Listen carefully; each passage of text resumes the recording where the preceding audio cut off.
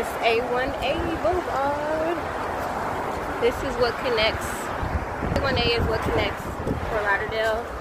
Well, Pompano Beach to Fort Lauderdale, Fort Lauderdale to Hollywood, and Hollywood to Miami. So, this is what I'm trying to find some more food to eat because I'm hungry.